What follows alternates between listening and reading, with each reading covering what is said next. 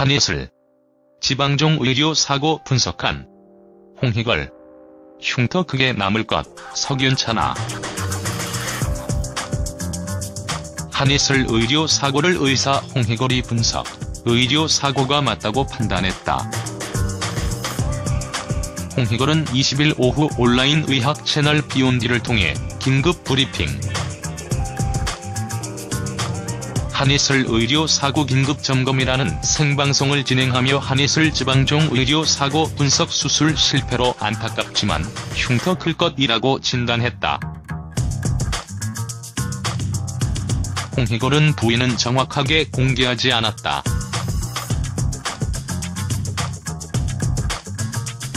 추정하건대 손의 위치를 보면 팔이 아니고 왼쪽 등이나 옆구리로 보인다고 추측하며 지방종 수술에 대해 지방종은 보통 그 아래에 일자로 절개를 하고 지방을 긁어내고 꿰매주면 되는 간단한 수술이라고 설명하며 1에서 2주면 실밥도 뽑고 말끔하게 회복되는 것이 정상이다.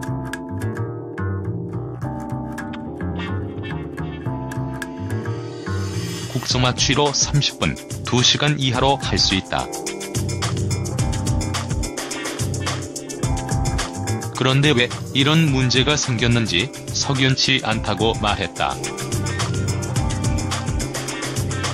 이어 홍희걸은 성형외과 전문의와 전화를 해서 조언을 구했다.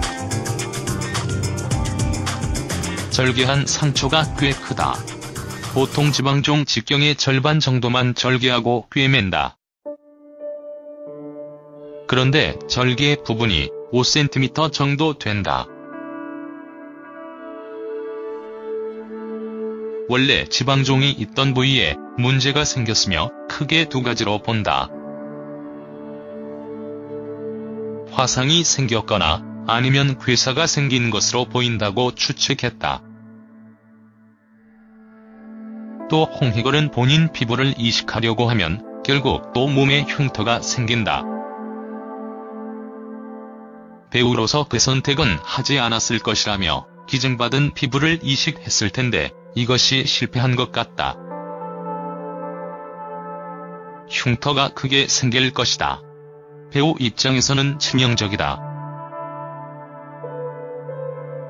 결과적으로 수술은 실패했다. 의료 사고다고 진단했다. 앞서 한예슬은 지난 20일 자신의 SNS에 수술한 모습과 함께 지방종 제거 수술을 받다 의료 사고를 당했습니다며 수술한 지 두 주가 지났는데도 병원에서는 보상에 대한 얘기는 없고 매일매일 치료를 다니는 제 마음은 한없이 무너집니다.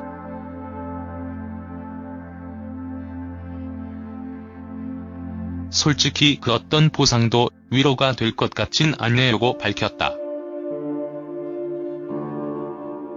이에 차병원 측은 이날 인드로 지방종을 제거하는 과정에서 해당 부위 피부에 화상이 발생했다.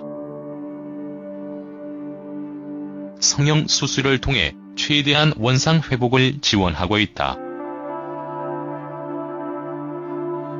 상처가 치료된 뒤 남은 피해 정도에 따라 보상할 것이라는 공식 입장을 내놓았다.